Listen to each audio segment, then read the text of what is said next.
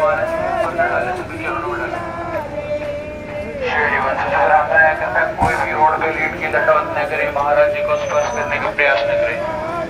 कृपया कोई भी पुष्ट महाराज जी के ऊपर न डाले सभी चरणों में डाले ऊपर न डाले